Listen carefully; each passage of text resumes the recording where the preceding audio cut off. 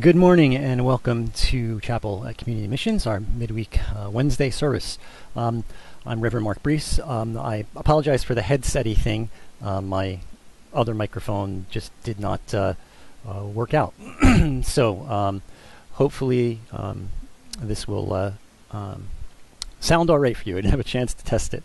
All right, so enough of that. Um, again, it's our weekly midweek chapel service. our uh, call to worship this morning uh, comes from uh, the Psalms, and it's from Psalm 105. Oh, give thanks to the Lord, call on his name, make known his deeds among the peoples, sing to him, sing praises to him, tell of all his wonderful works. Glory is his holy name. Let the hearts of those who seek the Lord rejoice. Amen. Um, and I guess I will also offer the apology about my voice. Still, still struggling with this for uh, a bit here. Hopefully, we'll get it sorted out soon. So please bear with me. Uh, we're coming up and we'll have our first hymn for the morning uh, Joanne Lorenzo is uh, again providing. And um, just that reminder that if you are uh, on your own uh, home or someplace, feel free to uh, sing out loud. Uh, if you're with your uh, family group that you usually are in your bubble with, also probably okay to sing. Um, you know your specific situation. But if you are in a uh, um, if you are in a uh, situation where you are in a uh, public space or meeting or something like that, where you're all watching this together with people that aren't part of your family group, please remember that uh, uh, singing is not a great, not uh, particularly great idea right now. So you can follow along with the words um, and the music that Joanne will provide. So, without any further nonsense, here's our first hymn of the morning.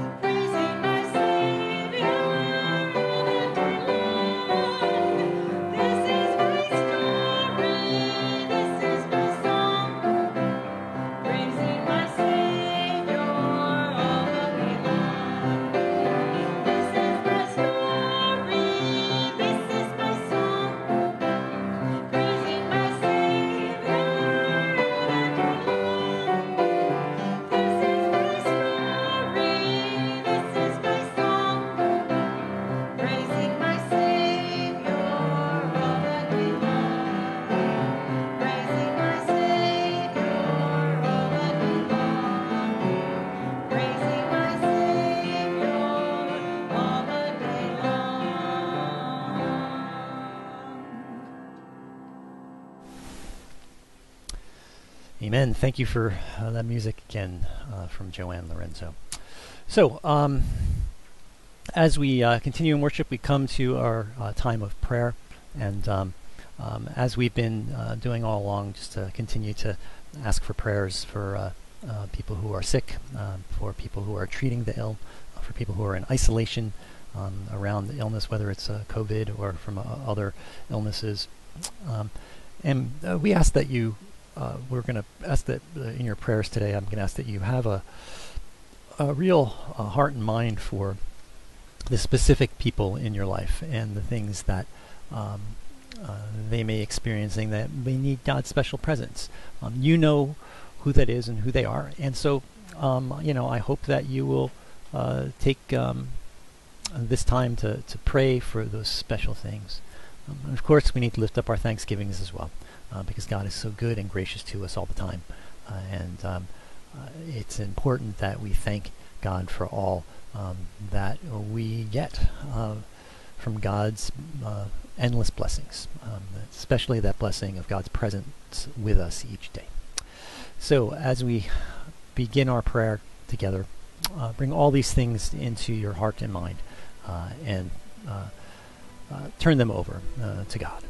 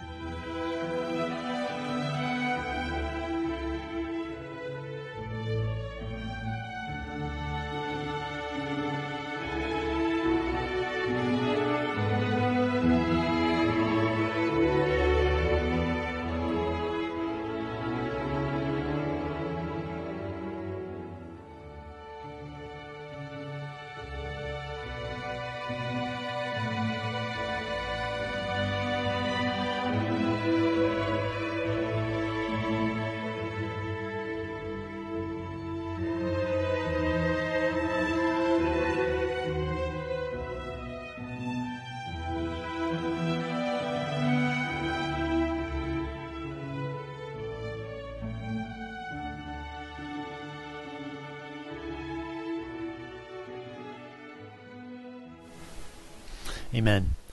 So, um, as we continue this uh, uh, day of worship, uh, we come to our uh, text for the day, and it is from Matthew chapter 14, and it's verses 22 through 33, with uh, Jesus walking on the water. And so let's see our text today.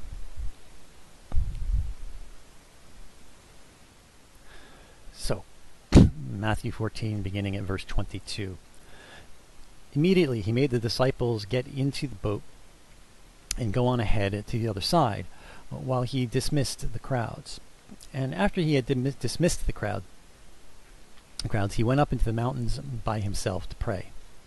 When evening came, he was there alone. But by this time the boat, battered by the waves, was far from the land, for the wind was against them. and early in the morning he came walking toward them on the sea.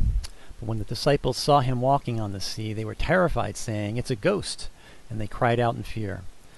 But immediately Jesus spoke to them and said, Take heart, it is I, do not be afraid. Peter answered him, Lord, if it is you, command me to come to you on the water. he said, Come. So Peter got out of the boat, started walking on the water, and came towards Jesus. But when he noticed the strong wind, he became frightened and began to sink. He cried out, Lord, save me. Jesus immediately reached out his hand and caught him, saying, You of little faith, why did you doubt? When they got into the boat, the wind ceased, and those in the boat worshipped him, saying, You are truly the Son of God. This is the word of the Lord. So, uh, there we have our text for the day, that very, very, very uh, familiar uh, story. Uh, that story of uh, Jesus um, uh, being with the disciples and sending them away and then walking to them on the water. Um, it's kind of interesting. Um, the gospel writers um, definitely um, make much of this moment. It's in Mark, Matthew, and the Gospel of John. Um, and um, it's kind of interesting what they are they each have their kind of own agenda in the way this story is used. In in Mark, uh, you know, everything is about how much the disciples uh, doubt, um, and um, uh, that they didn't quite get everything. Like they were scared um, by what happened to Jesus walking on the water. Um, they didn't have faith at all, it seems. And the Gospel of Mark, the disciples are always kind of just, eh, they're just kind of there and bumbling along. Um, in Matthew, uh, he has a slightly better view. They they are in the process of learning and living faith, and so that's what we need to be looking at today in terms of how uh, we will get um, uh, how we can get to understanding this passage for us. Um, one of the things that I like to uh, think about or talk about with this uh, when we're looking at this passage um, is about uh, a an old fishing story of mine. It's actually kind of like a boating story. Uh, in the uh, lake where I grew up uh, in North Brunswick, there's a lake called Farrington Lake, uh, just up the road from it, in about a half mile, and would be there pretty much every day during the summer, uh, in some way or other on the lake, fishing either in a boat or along the side, or swimming, or doing something. It's something always happening for me down at the lake there. But there's this one day where um, I was uh, out in the uh, our rowboat that we had, um, and it was a cloudy day, and it was gonna rain, um, and uh, um, I decided that you know I was kind of done, so I was bringing the boat to shore.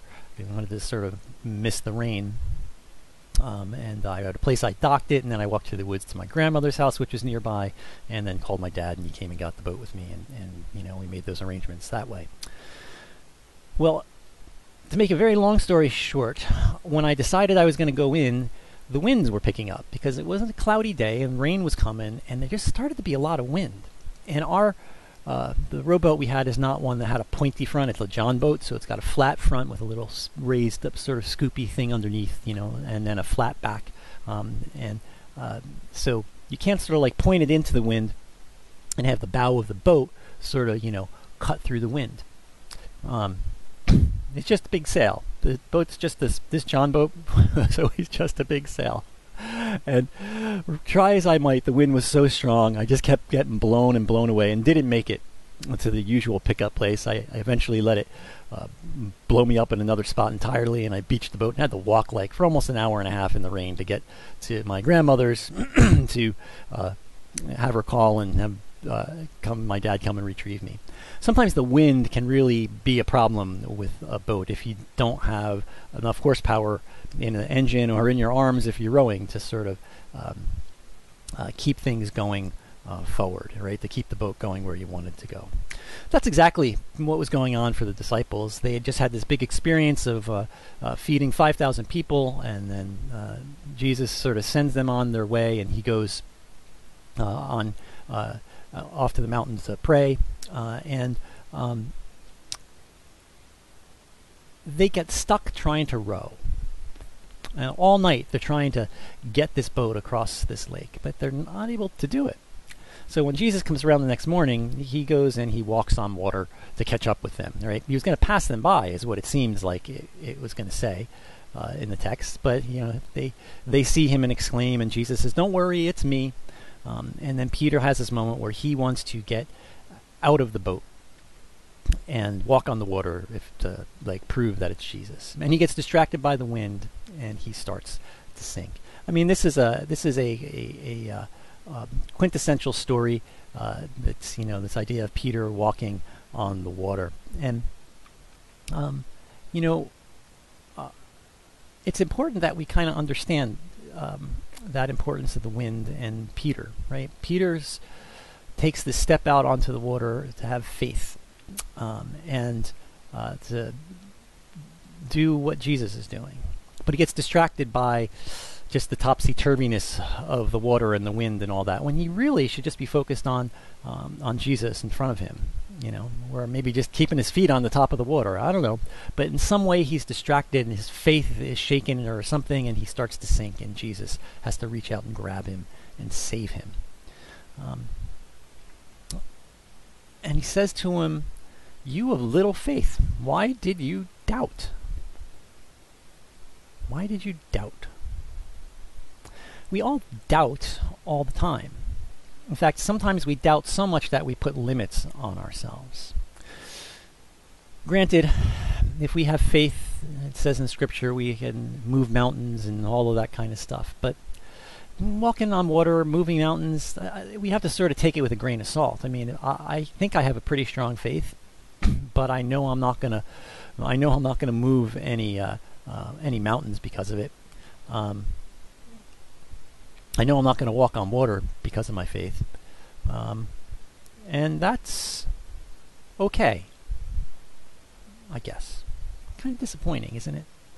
Then again, if we can't do the big things, let's think about the small things. Well, I can be faithful in my prayer life. I can be faithful in trying to serve others. Um, you know, there's all kinds of things that I can I can do that uh, make my uh, faith more firm, and that I can use my faith in helping others. So, um, but there are times, even in those smaller things, where I begin to doubt because we start to think about what our limitations are and and that's that's a that's a hard one, right? Because our, our limitations are always right there for us to see. You know, and I think that what's really important in that is that we get our limitations uh, in check. There's a great there's a great uh, uh, saying it comes from Richard Bach. Uh, he wrote uh, in a book where it says, "Argue for your limitations, and sure enough, they're yours." Richard Bach is the guy who wrote uh, he wrote Illusions and Jonathan Livingston Seagull, um, and and so um, it's uh, you know the subtitle for Illusions is The Adventures of a Reluctant Messiah. Um, has a lot more affinity with sort of Buddhist traditions than than Christian ones, but this this idea of arguing for our limitations and sure enough they're yours. I think this is pretty important. Um, you know we have um, to remember that God can help us do just about anything. It doesn't mean we should be unreasonable and be like, you know, trying to do, we're going to, you know, do something amazing like, uh, okay, we're going to get in the barrel and go over the falls because God's going to help me do it and I'm not going to think about my limitations. Yeah, that would be a bad idea, I would say, to do something like that. Don't you think? But, you know, what we could do is if we're thinking about our daily routines or our work or how we can be more kind to, fam- kind to family or friends, like if we look at what the obstacles are, a lot of times that keeps us from getting to what the uh, point of things is, or the solution, or the place we need to get to. We're very good at thinking about the things that hold us back. In Matthew, in this, these passages in this Matthew in chapter 14, you know, last week we talked about how the the uh, uh, uh disciples were feeding these 5,000 people. Jesus was, you know, producing this food by miraculously and giving it to the disciples and they gave it out. And at the start, they're like, we don't have enough. You know, they looked at the obstacle instead of the fact that they had Jesus with them to overcome all obstacles. Here, when they get in the boat, like they have the literal obstacle of trying to get uh, to the other side and having a real hard time um, doing that. And and that's you know that's uh, something that's really difficult for the disciples to manage. So there's obstacles there and limitations. But the biggest limitation we see in the story is Peter walking on the water, right? It's an impossible thing. And when he starts to doubt, when he starts focusing on his limitations, like, I'm just a guy and I'm in the midst of this storm, what am I doing walking on the water? Yeah, he starts to focus on his limitations as opposed to the miracle to hand. I wish our miracles were as showy and flashy as that in our life, but I know that they are generally smaller. Each one of you has uh, blessings in your day that you're aware of. You know, my blessing today is my Keep It Hot Forever mug. I I I I I love this mug. I couldn't find it for a while, right? I don't know why, but then it appeared in my in the cupboard. Um, I guess somebody must have had it in the room or something. Um, I'm glad to have it back because like this tea that I had in here, I made it like 5 this morning. It's still warm. It keeps stuff hot forever. So I'm happy about that blessing. Did God make it appear for me? Uh, I don't think God had anything to do about it. I know He wasn't praying about my cup, but I was happy to see it. We have to really be cognizant of all that God does for us, and we have to be aware of the work that God gives us to do. These are important things. And um, we need to not doubt so much. Right? We need to not look at the obstacles, the things that prevent us uh, from making progress in our lives. As uh, uh, just generally as human beings or in progress in our faith or anything, we have to look out uh, for that way of thinking where uh, we get focused on what we can't do instead of what we can do. Focused on the impossible instead of how to achieve what's possible uh, focused on the roadblocks in the process as opposed to focusing on the goal and finding a way around or over the roadblocks. That's what faith is about. When Jesus, you know, has them uh, has them come out on the water, has Peter come out on the water, you know, this is obstacles being overcome. And and when he starts to falter in his thinking, God picks him up. And God saves him. This, this is pretty much what our life of faith is like without the drama of being walking on the water, I suppose. I guess this is all to say one thing, and one thing I want you to take away from um, this message and, and really try and apply it. It's that idea of limitations, to not be focused on your limitations. Peter didn't let himself focus on the limitation of, I can't walk on water uh, Peter uh, focused on Christ and wanting to be like and with him. And so he stepped outside the boat onto the surface of the sea. Walking on the water is uh, something we should not be able to do, but Peter did it. And when he uh, wasn't focused on the obstacle, he did fine. But when he got distracted by the water and the sea and the whole thing, that's when he started to sink when we start to sink in the things that we're pursuing, Jesus will be right there with us. God will lift us up and give us hope and give us a way forward. It's always there for us to see. We just have to not doubt. We have to make sure we understand that God walks with us and will always provide a path through. It might not be where we expected to end up, might not be uh, exactly the thing we set out to, a goal we, we set out to accomplish. Uh, it might be entirely different, just a little bit off. Uh, but God's always going to get us to some kind of solution when we rely on God to help us through it. God will give us what we need internally in our in our mind and in our hearts, and uh, externally from the world to uh, show us where those resources are that can help us to get to where we want to be. Don't just focus on your limitations. Peter did fine when he wasn't focused on his limitations. When he was being fully faithful when he stopped, when he started arguing, in a sense, for his limitations, then they were his. Argue for your limitations, and sure enough, they're yours. As Christians, I think that this is something that we can uh, really take home. Don't focus on the limitations. Don't argue for them. Step out in faith and go where God's leading you.